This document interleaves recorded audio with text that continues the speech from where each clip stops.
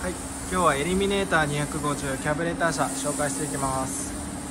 とまず外装の状態から見ていきます、えー車両右側タンクの部分ですね。こちらにへこみ傷あります。あこれ気になる方は修理できるのでお問い合わせください、えーマフラーがスラッシュカットマフラーですね。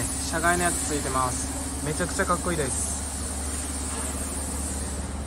で左右にサイドバックレストと後ろにはバックレストついてるのでタンデム走行は、えー余裕でできると思います、えー後ろは車外のテールランプと車体左側サイドバックついてます。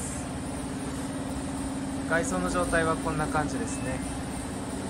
で走行距離が3万1858キロ、えーまだまだ走れる状態 走れる車体となっているのでぜひ見に来てください。